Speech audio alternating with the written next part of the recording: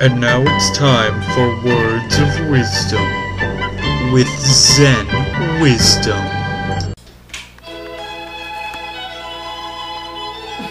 Hello there. Fool me once, shame on you.